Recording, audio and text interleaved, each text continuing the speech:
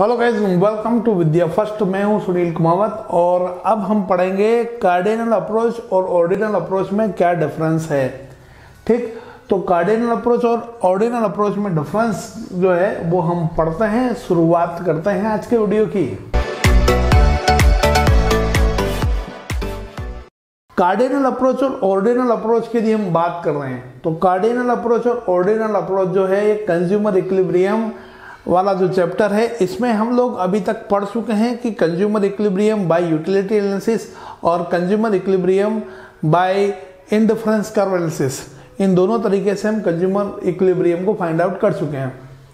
अब ये जो दो अप्रोच है, इसके बारे में यदि आपको थ्योरेटिकली यदि क्वेश्चन लिखना पड़े तो कुछ पॉइंट जो हम इसके डिस्कस करते हैं, जिससे कि ये बात आपको क्लियर हो जाए। सबसे पहली बात, यदि मान लीजिए इनमें दोनों में डिफरेंस आपको लिखना है तो सबसे पहली चीज़ यदि हम बात करें कि दोनों के मीनिंग में जो डिफरेंस है, दोनों का मीनिंग का क्या डिफरेंस है? कार्डिनल अप्रोच की जब हम बात कर रहे हैं तो कार्डिनल अप्रोच की यदि हम बात कर रहे हैं इट मीन्स ये कि हम जो है यूटिलिटी को किसी नंबर में रिप्रेजेंट कर सकते हैं। कोई भी चीज़ हम कंज्यूम कर रहे हैं तो कंज्यूम करने से हमें जो यूटिलिटी मिल रही है, हमें जो सेटिस्फेक्शन मिल रहा है उसको हम जब एग्जैक्ट किसी नंबर में रिप्रेजेंट करें कि हम जैसे कोई चीज़ हमने कंज्यूम की तो उसको हमने नंबर दे दिया कि भाई हमें five utils ten utils twenty utils तो जब हम कोई exact number when we give any exact number कोई एग्जैक्ट नंबर यदि हम देते हैं तो फिर उसको क्या बोलेंगे कि एग्जैक्ट नंबर में when utility expressed in exact number then it is known as cardinal approach ठीक? When utility ex, express in, utility express in express in exact number है ना? जिस तो फिर उसको क्या बोलेंगे?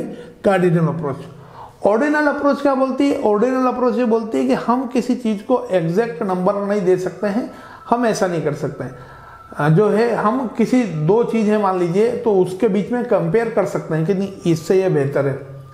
या ये इतना हो तो ये इतनी हो तो चलेगी।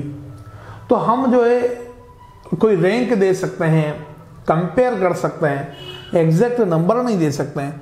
तो ये जब हम रैंक दें एग्जैक्ट मतलब रैंक दें हम या कंपेयर करें तो तो यूटिलिटी को हम कंपेयर करके हम यदि फाइंड आउट करें तो यूटिलिटी जब कंपेयर करने के थ्रू रैंक के थ्रू रिप्रेजेंट की जाए तो उसको ऑर्डिनल अप्रोच बोलेंगे। है ना? और कार्डिनल मीन जब एग्जैक्ट नंबर में रिप्रेजेंट की जाए। नेक्स्ट है मेज़रमेंट ऑफ़ यूटिलिटी यूटिलिटी को आप किसमें एक्सप्रेस कर रहे हैं? यूटिलिटी को आप नंबर में एक्सप्रेस कर रहे हैं टेन ट्वेंटी थर्टी तो वेन हम इसमें नंबर में रिप्रेजेंट करते हैं और इसमें हम रैंक वगैरह में रिप्रेजेंट करते हैं कंपैरिजन करते हैं।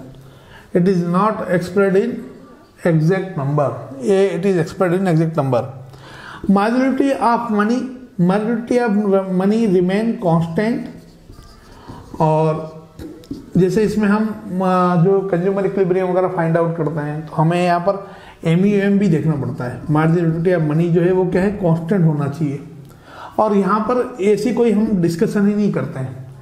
हम जो इंडिफरेंस कर वो बजट लाइन के थ्रू फाइंड आउट करते हैं तो हम यहाँ मार्जिन ऑफ़ मनी की बात नहीं करते हैं। तो ये नेसेसरी नहीं दिया रिक्वायरमेंट ही नहीं यहाँ पर।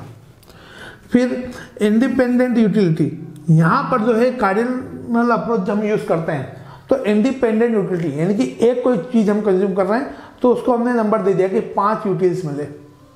दो कंज्यूम किए तो उसको हमने बोल दिया कि जो है हमें बारह यूटिल्स मिली। तीसरी कंज्यूम की तो बोले हमको फिफ्टी यूटिल्स टोटल हो गई। या तीसरे रुपये में हमें तीन यूटिल्स जो है मिली। तो हम किसी प्रोडक्शन से किसी कमोडिटी से मिलने वाले सेटिस्फेक्शन को नंबर में रिप्रेजेंट कर रहे हैं। है ना? और इंडिपेंडेंट कोई कमोडिटी है। लेकिन यहाँ पर जो है ऑर्डिनल में यहाँ पर इंडिपेंडेंट रहेगा, लेकिन यहाँ पर इंडिपेंडेंट नहीं रहेगा। क्यों? क्योंकि यहाँ पर इंडिपेंडेंट यहाँ पर हम किसी दूसरी चीज़ से कंपेयर करेंगे। तो यहाँ पर इंडिपेंडेंट यूटिलिटी नहीं होती है। है ना? वहाँ किसी चीज़ से कंपेयर करते हैं। नेक्स्ट है अल्टरनेटिव नेम इसका अल्टरनेटिव नेम है यूटिलिटी अप्रोच भी, इसका नाम है। इसको यूटिलिटी अप्रोच भी बोल सकते हैं आप। या यूटिलिटी एनालिसिस भी बोल सकते हैं। और इसको इनडिफरेंस कर्व एनालिसिस बोलते हैं। इनडिफरेंस कर्व एनालिसिस बुक बोलते हैं। क्योंकि इनडिफरेंस कर्व के थ्रू पता करते हैं, इसलिए इनडिफरेंस कर्व एनालिसिस ये इसके अल्टरनेटिव नेम हो गए। लॉ इसमें आपका फॉलो होता है law of law of D M U diminishing marginal utility और इसमें जो फॉलो होगा, वो होगा what law of M R S marginal rate of substitution या डी एम आर एस ऐसा बोल सकते हैं। Diminishing marginal rate of substitution D M R S और इसमें D M U law of diminishing marginal रेटिविटी तो ये इनमें कुछ डिफरेंस है। इसके अलावा एक और पॉइंट आप जो है इसमें अच्छे से बता सकते हैं।